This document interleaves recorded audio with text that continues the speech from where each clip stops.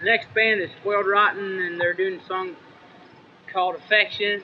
This band comes from Peoria, Illinois, close around here. Here they are. It's called affection.